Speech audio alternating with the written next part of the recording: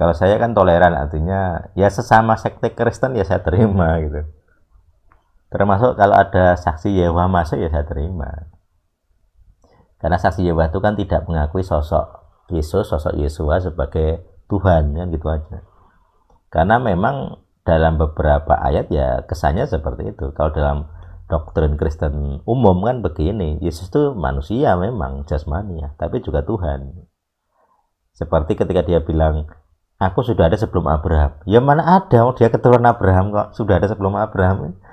Bukan manusia berarti gitu loh. Itu dia tidak mengaku diri sebagai manusia normal. Manusia jasmani saja.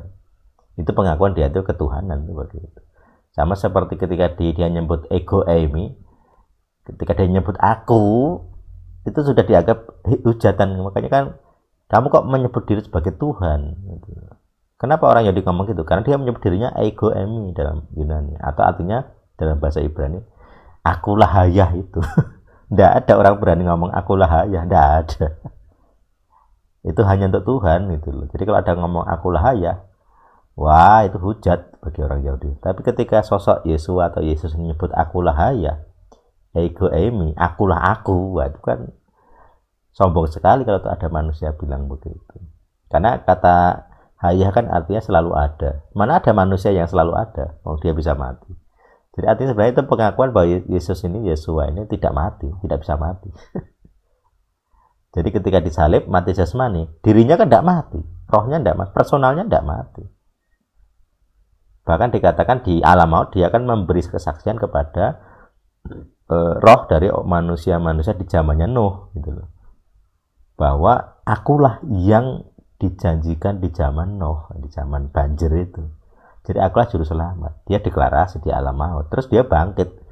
Jadi dia jiwanya bebas, tidak terikat oleh maut. Pergi ma masuk dan keluar sesukanya kan itu. Siapa bisa menghalangi dia keluar dari alam maut? Tidak ada. Ketika masuk alam maut, dia dipaksa dengan dibunuh, disalib gitu. Tapi ketika keluar, dia bebas sesukanya keluar. Siapa bisa menghalangi? Tidak bisa. Malaikat tidak bisa, setan tidak bisa. Gitu. Dan dia penguasa, ya. dia Tuhan gitu ya. rohnya roh Tuhan jiwanya jiwa Tuhan gitu. hanya jasmaninya saja yang manusia itu pun sementara hanya 30 tahun bahkan ketika dia bangkit dia mengenakan tubuh yang baru itu bukan tubuh dari yang keluar dari rahim Maria beda apa masih ada lukanya tapi kan beda itu dia bisa nembus tembok mana ada tubuh nembus tembok itu sudah badan yang berbeda jasmani yang berbeda walaupun lukanya masih sama jadi bentuknya sama, tapi apa istilahnya? Ya istilahnya kemuliaannya berbeda.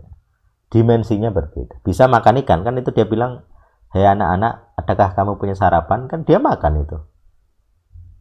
Tapi apakah makanannya jadi kotoran, jadi tinja? Kan enggak. Mana ada Yesus ke bang, Yesus yang bangkit terus pergi ke toilet kan enggak ada. Habis sarapan dengan 12 murid terus ke toilet kan enggak ada. Dia juga tidak butuh pipis dan sebagainya.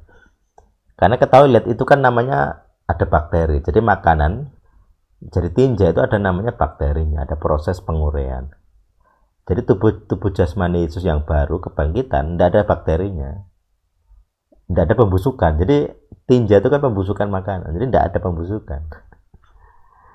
gitu. Makanya ya jasmani tapi berbeda dengan yang keluar dari rahim Maria itu atau Miriam ini beda. Itu itu manusianya tubuhnya jasmani tapi ketuhanannya tetap tetap ada. Nah yang SS yaitu kan tidak mengakui dia itu Tuhan gitu aja. Tapi secara ayat ya dia Tuhan dia menyebut aku haya.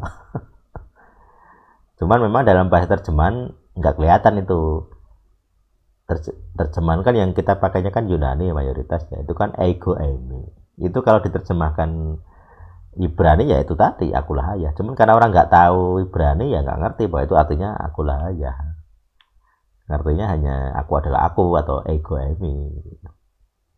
Makanya wawasan pengetahuan kita harus ya mau nggak mau harus luas gitu ya. Nggak harus sekolah teologi. Bahkan orang teologi pun nggak ngerti ini. Artinya ya ego emi itu aja. Mereka nggak ngerti bahwa itu tuh dia sedang mengklaim dirinya sebagai ayah tuh nggak nggak tahu ya itu tadi sih